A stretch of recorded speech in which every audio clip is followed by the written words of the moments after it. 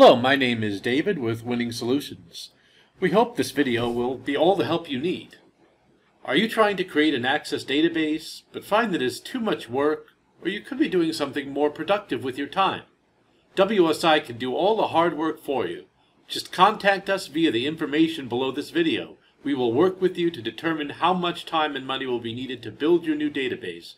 If you'd prefer to have your database built with .NET, Microsoft SQL Server, so you can run it on your Windows desktop or anywhere in a web browser, we could do that too. So the topic of this tutorial is my database is slow, what can I do? Now we hear this from clients all the time and certainly there are a lot of things that can slow a database down. As a database gets very large, it will naturally slow down. If you have a database that takes up 10 terabytes, you know, there's not a whole lot we can do to make it run instantaneously. So size is certainly a factor. And also, before beginning, I would also like to advise that if your database is currently in Microsoft Access as a back end, that can also access will run a little bit slower and also has a size limit of two gigabytes. So as you approach that, it's certain things will certainly slow down. So those are some of the basics. And if you have an access backend, and if you saw our video on splitting databases, we went over what a front end and a back end is. But if you have access tables, if your entire database is in access, then and you're getting close to that two gigabyte limit, we would strongly recommend migrating over to an SQL Server database and within certain parameters, there are free versions of SQL Server called SQL Server Express, where if the database is small enough, if it's small enough, I think 10 gigabytes is the limit, you can run it for free, and that's a good way to kind of test out whether SQL Server is going to be a better solution for you than Access. In most cases, it will be. But the main point of this presentation is to talk about some other potential solutions uh, so you know, maybe your database has moved over to SQL Server, and you know it's sometimes the programming can be streamlined, but often it's a structural issue in the database that that where addressing that structural issue could help things. Now there's a few things we, we usually look at: archiving, indexing, and query optimization. Indexing is going to be the main point of this video. Now archiving generally not recommended by itself because what archiving does, it will reduce the size of the data set. So you're taking old data and moving in and removing it and, and setting it aside. Uh, but of course, now that old data is not going to be as accessible as it, as it was before. And it really doesn't do anything about performance. It might temporarily cause some increase in performance because the data is smaller. As I said earlier, size is a factor. But ultimately, once your database gets back to the pre-archive size, you're gonna the problems are going to return.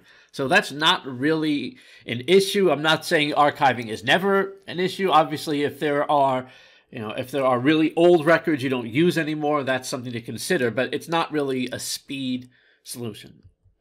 So we're going to talk about indexes here, and you know, I'm, my intent here is to make this very high level, very just a very general fifty thousand foot uh, view overview. Overview. So if you're not technical, uh, don't worry about it. This, uh, you know, I'm, I'm, we're not assuming any technical knowledge here. I'm just going through this on a very, a, a very broad level.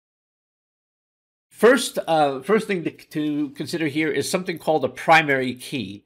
Now, a primary key is a, is either a column or set of columns that uniquely identifies a particular row in a table.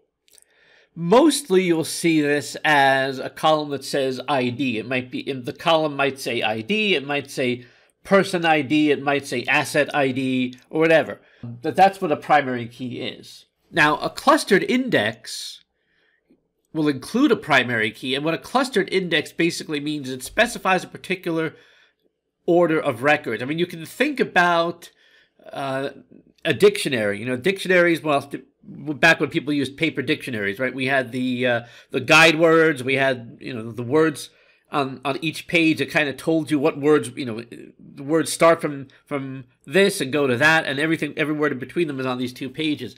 Uh, basically clustered indexing of which primary key is a part kind of sets the order of things. And this is important for searching because when you're searching for records with uh, you're searching for last names beginning with d well, the index is going to tell you where those D records are if that last name is a clustered index. So that's what that's one of the things that can speed up the database at least on the searching end because it makes records easier to find rather than having to search the entire table the database can search sections or I don't want to get too te- technical but it can search uh, pages within that file. It can ser- search uh, sections of the file instead of searching the entire file. So that's what a clustered index. Now, uh, each table can only have one clustered index um, because you, you can't sort on multiple because it, it's going to define order. If if I if I can sort words by uh, both the first letter and the last letter, doesn't really make a whole lot of sense.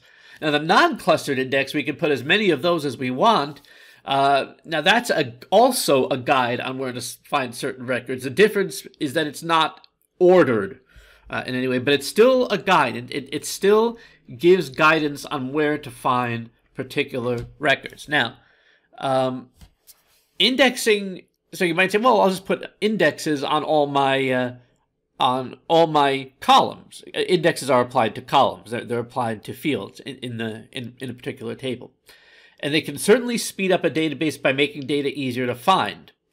However, and so basically you want to use indexing, the, the keywords, we're going to use them on columns that are searched frequently. That's that's the that, that's really the the key element here.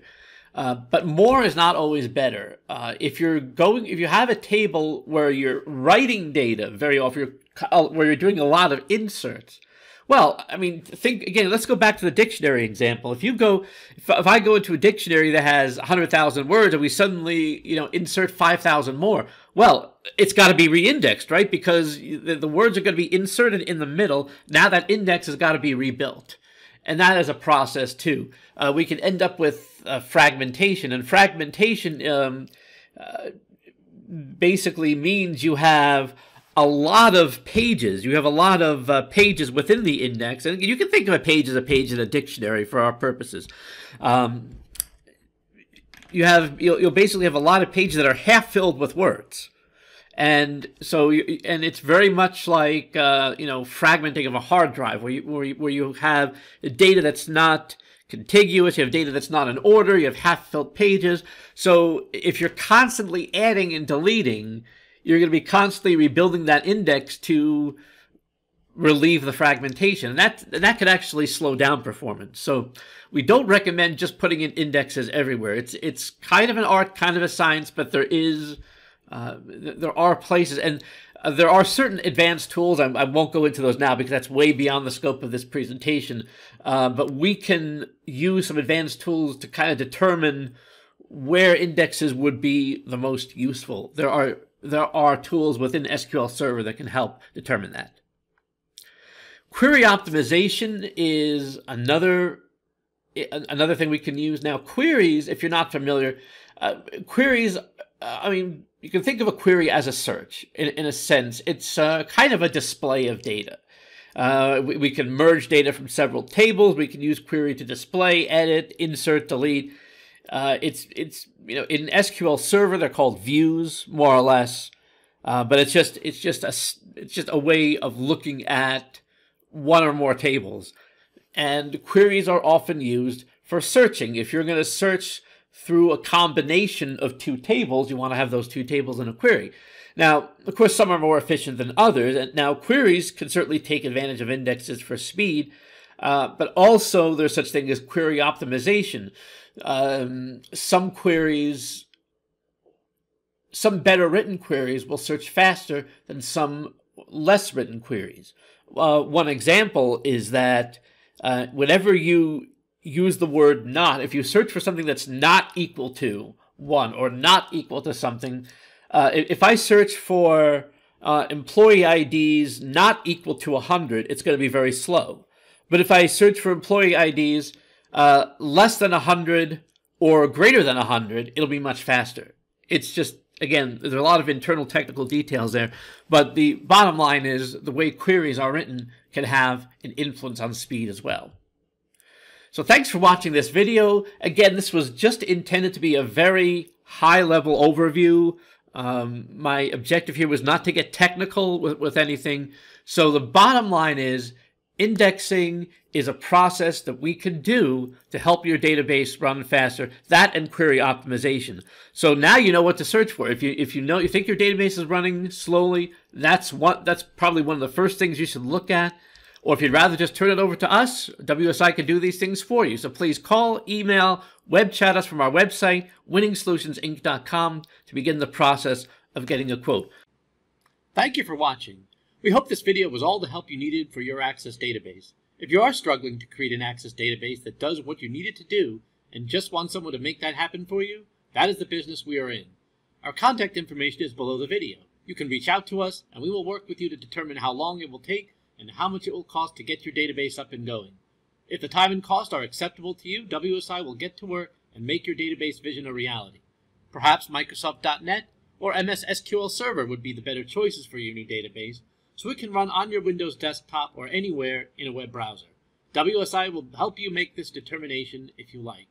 Again, thanks for watching. Please remember to like and subscribe, and have a great day.